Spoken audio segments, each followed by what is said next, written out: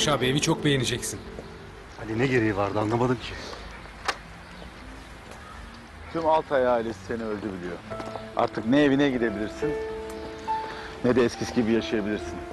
Burada gözlerden uzak ve daha güvenli olacaksın.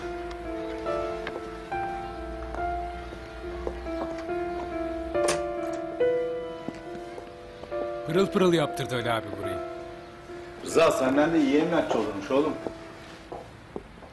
Yuh!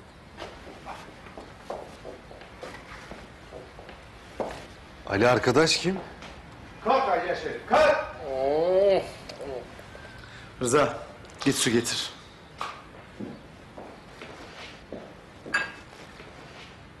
Bu Harun. Bizim tüm internet ve IT işleriyle ilgilenen arkadaş. Pek memnun olduğumu söyleyemeyeceğim. Dök.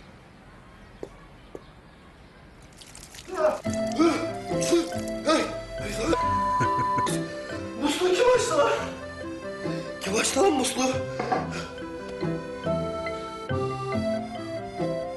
Oo, abi. Abi hoş geldin. Ya haber verseydin bir çay koyar demlerdim bir şey yapar. Kalk rezil herif. Kalk. Muslu sen mi açtın abi? Ben sana bir daha içki yok demedim mi? Ben seni niye getirdim buraya?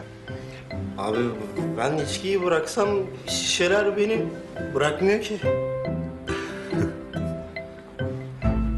Kendine çeki düzen ver. Toparlan hemen. Çabuk. Oo. Hoş geldiniz.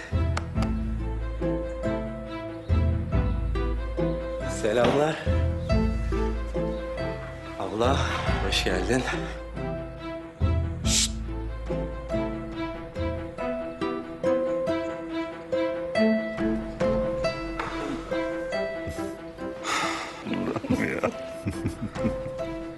Barış. Bunu söylerken üzülüyorum ama... Yapacak bir şey yok. Bu serseri senin yeni ev arkadaşın.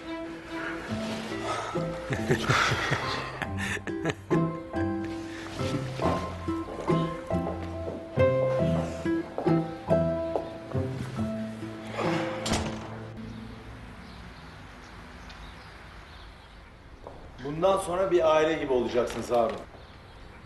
Aynı evi paylaşacak, aynı amaç için çalışacaksınız. Tamam abi. Barış'ın uzun bir iyileşme süreci olacak. Bu süreçte sen de ona yardımcı olacaksın. Tamam abi. Kendine de çeki düzen ver. Tamam abi. Bana bak bana tamam abi deyip durma.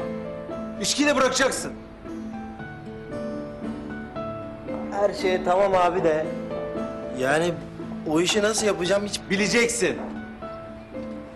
Ha bir de şu sistem meselesi var. Adresi ve IP'sini devam değiştiriyorsun değil mi?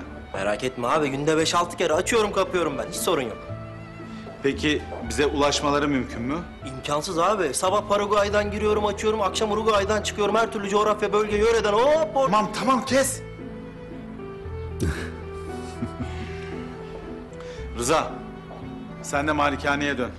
Veysel Altay için üzüldüm filan de. Ben de bir eve uğrayayım. Sonra buluşuruz. Ben duruşmama geç kaldım. Seni de bırakırız. Barış. Aklım sende kalacak. İlaçlarını almayı unutma olur mu? Hiç merak etmeyin ablacığım. Ben buradayım. Acayip sorumluluk sahibi bir adamım. Gözüm gibi bakarım ben ona.